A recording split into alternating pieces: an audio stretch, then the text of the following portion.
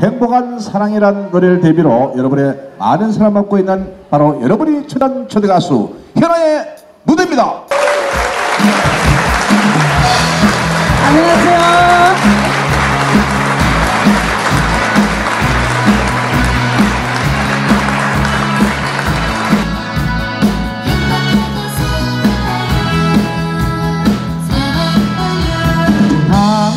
당신을 만난 그 사랑이 뭔지 조금씩 알게 되었어요.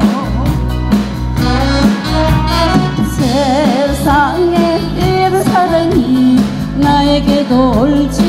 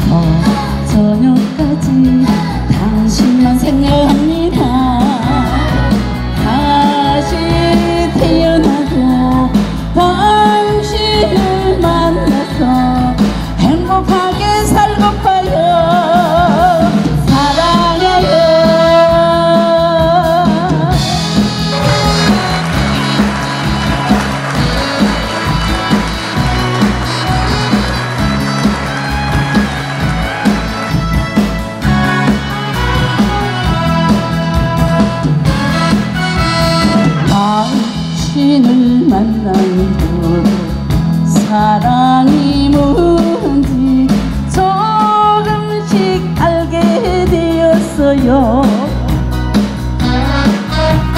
세상에 이런 사랑이 나에게도 올 줄은 꿈에도 생각지 못하였지요. 하루하루가 행복했어요. 가슴이 설레었어요. 이렇게 행복한 사람이 어딨어요? 아침부터 저녁까지 당신만 생각합니다. 다시 태어나도 당신을 만나서 행복하게